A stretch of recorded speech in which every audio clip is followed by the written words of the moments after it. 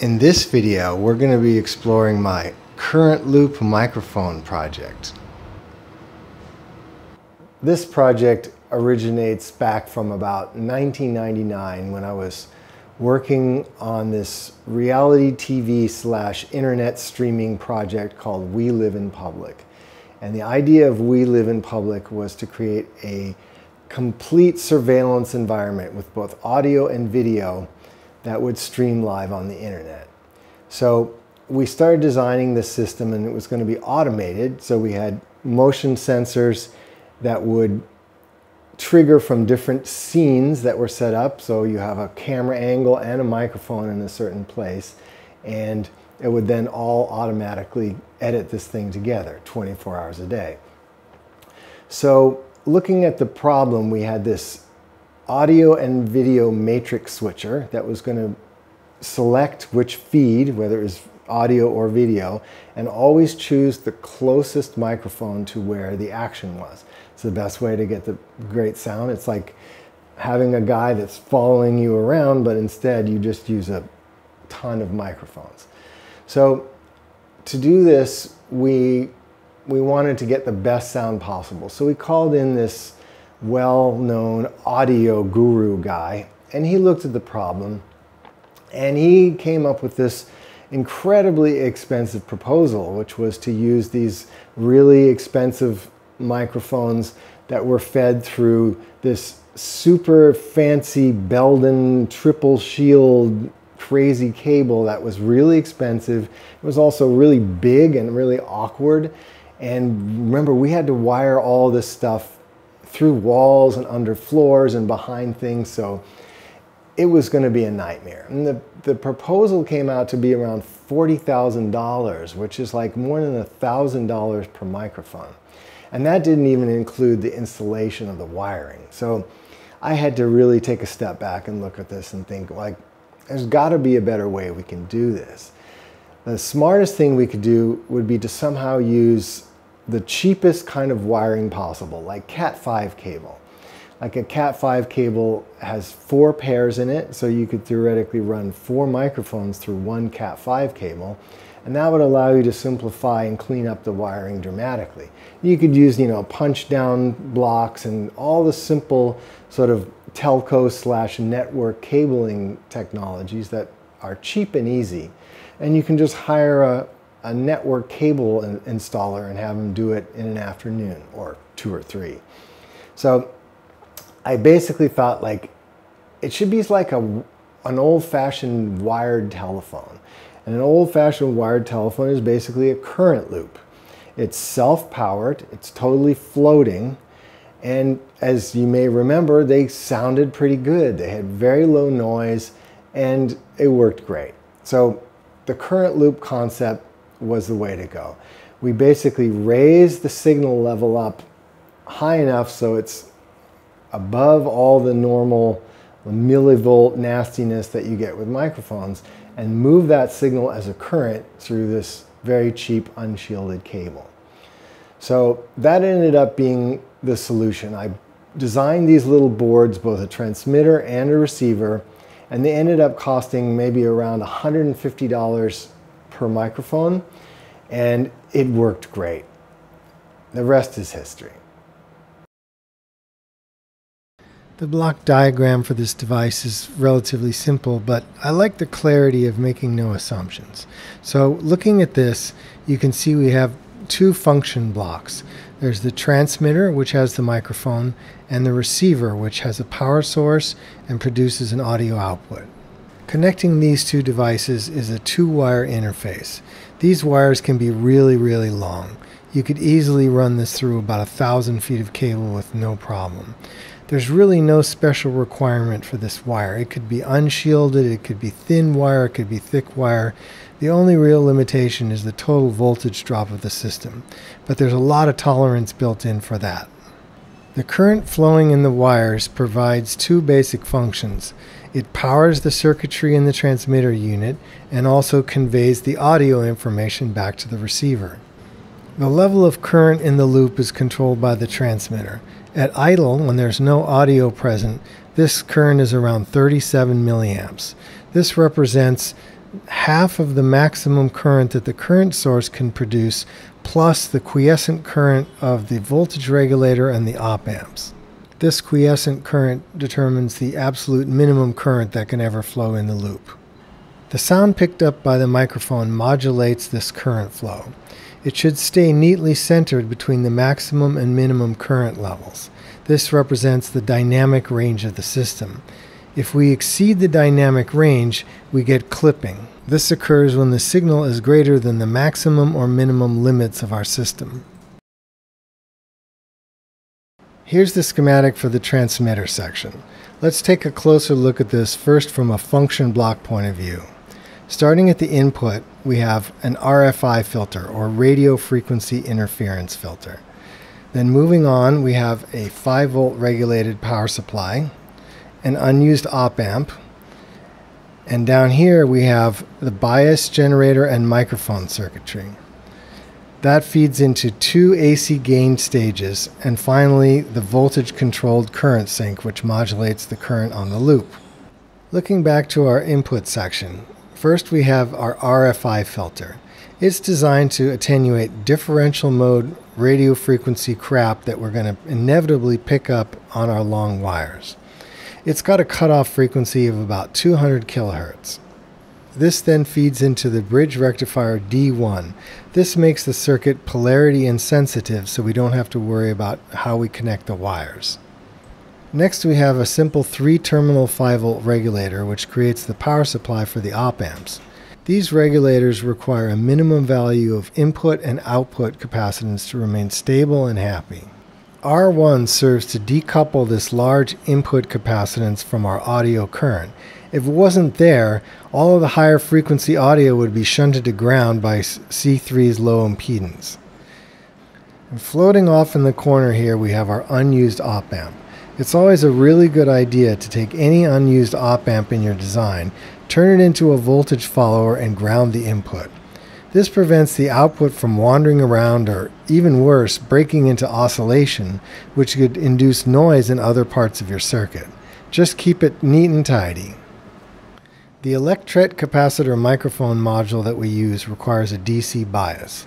This bias must be really, really quiet. That's why we decouple it with this RC network consisting of R5 and C8 first. Then the signal on R8 is AC coupled through C9. Next, we have a bias voltage generator that creates a very stable and quiet 2.5 volt reference for the rest of the circuit. This voltage is fed through R7 into the op amps to bias the rest of the chain. The signal now entering the amplifier chain is a 2.5 volt DC level with a millivolt audio signal from the microphone superimposed on top of it. The two cascaded non-inverting amplifiers provide a, minimum gain of about 100, which can be increased by turning the potentiometer. Capacitors C6 and C11 in the feedback networks of these amplifiers cause the gain to roll off to 1 at DC. This allows the 2.5 volt DC level to pass straight through without being molested. Capacitors C5 and C10 help to roll off the gain well above audio frequencies. This helps to keep the overall system quiet from higher frequency noise. The output of amplifier U1B therefore becomes a large voltage signal that can vary between 0 and 5 volts, but it's normally centered on 2.5 when there's no audio signal present. The amplifier U2B along with Q1 and R10 form a classic voltage controlled current sink. The voltage signal coming in is compared to the feedback voltage across R10.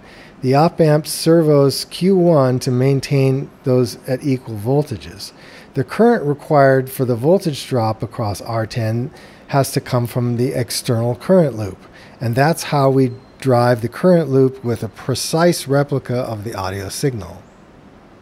If we do the math, we can take the reference voltage of 2.5 volts and divide that by 82 ohms. That gives us a current of about 30 milliamps. Now I can already hear everyone asking, why is it 30 milliamps? Well, like everything in the real world, it's a bit of a compromise. If you think about it, the higher the current level is, the higher up out of the weeds we are. Our signal to noise ratio should be better. But we do pay the penalty of power dissipation. At a certain point, this thing is just going to get way too hot. Down at the low end of the current range, we have a totally different problem. The cable capacitance plus the capacitance in our input filter forms a low pass filter with our current sink. To get the bandwidth we need out of this, we need to have a high enough current level so the current sink can really push that capacitance around fast enough to get those higher frequencies. Now let's move on to the receiver portion of the current loop system. What's cool about this is the receiver contains no active components whatsoever. It's only got resistors, capacitors, and two transformers. Yet it does its job really well. The output of the receiver is an electrically floating line level signal. Since it's electrically floating, you can connect it to a balanced audio system or a single ended ground reference system with ease. There should be no ground loops or other issues like that to contend with. That's the beauty of a floating output. The AC currents that are flowing through the two 50 ohm resistors generate AC voltage drops. These AC voltages are capacitively coupled into two coupling transformers, T1 and T2. These are wired in aiding fashion so that the voltage at the output is equal to two times the voltage across the individual resistors. This configuration generates large output voltages from the differential currents flowing through the transmitter. But for common mode currents, such as the current that's created from AC line voltages coupling into the two long wires, the transformers buck or oppose each other to cancel these voltages. So basically, we end up with a high differential mode sensitivity and a very low common mode sensitivity, which is exactly what we need for this system. So how far could we potentially run this crazy thing? Well, there's two limitations. The first one being DC voltage drops. The current setup running from a 24 volt power supply can withstand about 200 ohms of loop resistance. If we assume 24 gauge wire, that's a round trip of about 1.2 kilometers before we hit 200 ohms. That's pretty good. The easy fix for these voltage drop limitations is just increase the supply voltage. But be careful not to exceed the maximum input voltage of the voltage regulator and the power transistor on the board. The second limitation is really cable capacitance, and that's not going to give you a hard fail, it's just going to give you more and more high frequency attenuation as the cable capacitance increases. When I was playing around with LT Spice modeling all this stuff, what I was shooting for was getting a 20 kilohertz overall bandwidth through a thousand meters of Cat5 cable. That ends up being about 52 nanofarads of capacitance. And it, this design pretty much makes that happen. So what happens when you inevitably short out those long current loop wires? Well, the maximum current that can flow is about quarter of an amp and those resistors, if you put 3 watt resistors in there, will just sit there and get warm. So it's kind of inherently fail safe for short circuits. But as I think about it, I should put some kind of voltage clamping network on the audio output. Because when you short it out, there's going to be a pretty nasty transient on the audio output that could blow something up. Got to fix that. The op amp that we've chosen for this project is the LME 49721. It's kind of an ideally suited part for this job. There's a few very important features that we have to be on the lookout for. Firstly, we need a rail to rail input and output voltage range. Because we only have 5 volts to play with, we want to make sure that we get the most out of the dynamic range of our system. Some op amps can't swing their outputs all the way to the supply rails, nor do they work correctly when their input voltages are close to the supply rails. What this means is you can't use those little voltage ranges, so you lose dynamic range. We also need a nice low quiescent operating current. If this thing draws too much current, it starts to become a large proportion of our output signal, and that's not good. We also want a high PSRR or power supply rejection ratio. Since our power supply voltage is derived from a DC voltage with audio on top of it, we've got to be able to reject any audio signal that ends up sneaking through on the 5 volt rail. We need a high gain bandwidth product. We also need a high slew rate. This just means the op amp is fast enough to keep up with our input signals. And finally, we need low input noise density and low THD or total harmonic distortion. Since this chip is really designed for precision low noise audio applications, it does all that stuff really well. Don't get sucked into thinking that just because you specced out this super low distortion, low noise, super fancy op amp that your circuit is going to sound great. It doesn't work that way. Most of what matters is the actual circuit design itself. The op amp helps, but if you don't get the design part right, the circuit will just drown in the noise that comes from all the other little design mistakes that you made. Sadly, after 20 years, this photo is all that remains as evidence of the original system. This board was a four channel receiver. On the left, you can see the RJ45 that connected to the Cat5 cables. On the right side, there's four RCA jacks for output. The 24 volt power supply connects to that little blue terminal strip along the bottom edge. Arguably, installing this kind of wired surveillance system is a total pain in the ass. You gotta run physical wires. But once you get it installed, it'll provide you with decades of crystal clear, totally undetectable surveillance that no bug detector of any kind will ever find. You'd be surprised how much unused cabling there is in the typical building. There's old telephone wires, network cables, and even coax from cable TV installs all of which can be put to use.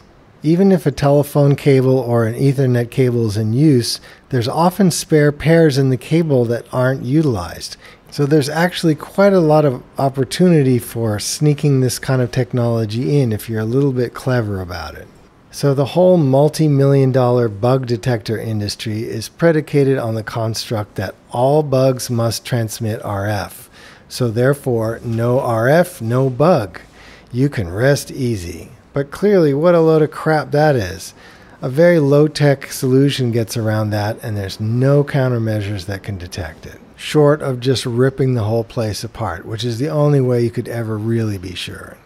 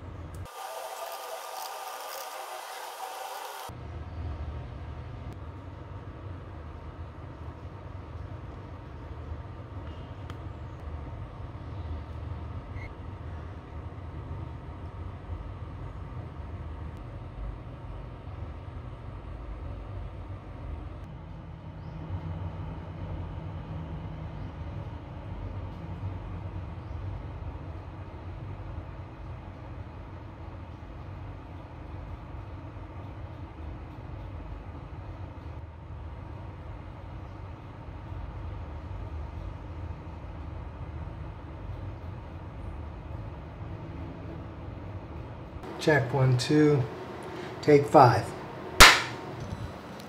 So if you all enjoyed the journey that we just took together, if you learned something, you got value out of this, give me some value back. Click that like button, subscribe, and leave copious comments below. Thank you all very, very much.